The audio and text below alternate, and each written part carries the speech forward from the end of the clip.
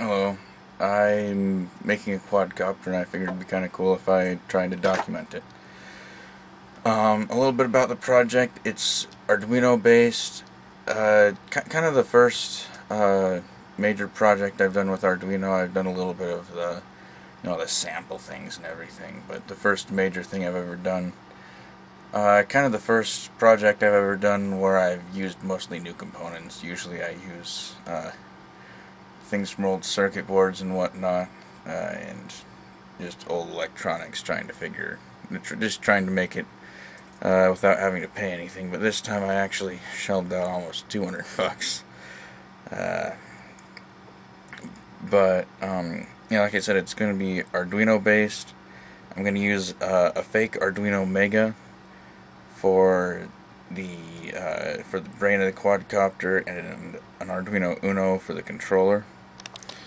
So,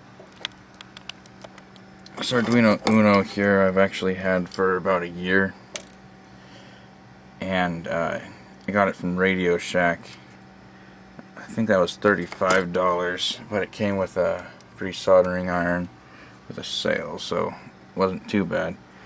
This uh, Arduino Mega, well, it's actually a fake one I got from Hobby King. Uh, it was $17 it's not revision 3 because it doesn't have the extended header, which kind of stinks. Because uh, it makes the I squared C a little bit harder for controlling, for getting the information from the inertial measurement unit. But $17 instead of 65 yeah, I'll get the fake one. Though the branding doesn't really make it obvious that it's fake, which I'm pretty sure is illegal. Well, that doesn't really matter too much. This here is the, the inertial measurement unit, as you hopefully can see there. The SDA and SCL, uh, that's how it communicates with it. Um, still, I've only been able to access the gyroscope, but I'm hoping that the reason for that is that I just have the wrong addresses for the, the I squared C for the different chips on here.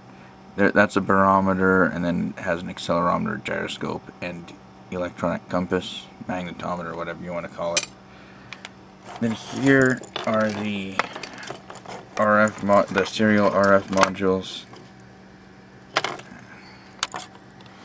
Uh, the, this these two came together and they were 30 bucks. I haven't quite figured out how to use these yet. Um, but hopefully this will, I'll get that figured out. This over here is the serial to USB that came with that so you can uh, plug it into a computer and program the frequencies and whatnot but they, they should be on the same frequency already um, unfortunately I've only been able to find the software for uh, Windows with that, and I use uh, I use Linux, as you can see. But uh, now let's get to the stuff that really is interesting. This here is the propeller, or the the motor and propeller. Uh, obviously, I need four of those, and this one came out of that box, and those three boxes have the other ones in it. Uh, so it's just a essentially the the cheapest Turnigy motor, the, the the cheapest motor I could find that had the the right specs that I uh, I calculated I wanted, and then I have a a 20 amp speed controller and Oh, where's my battery? Here we go. I got a Zippy 1.8 amp hour 3 cell uh, lithium polymer, so that makes it 11.1 volts.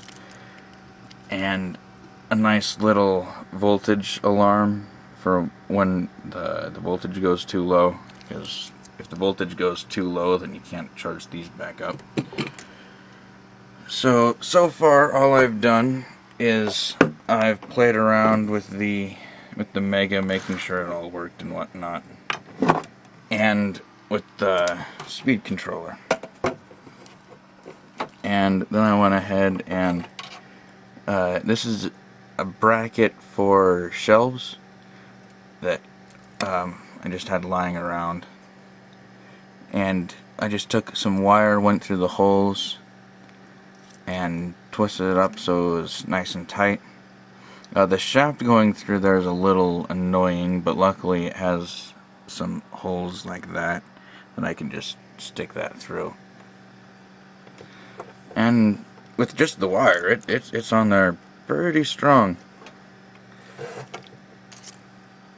So the next step is I'm going to go ahead and connect all the, the other uh, bullet connectors to the wires because the, the motors didn't have the bullet connectors soldered onto them already, which was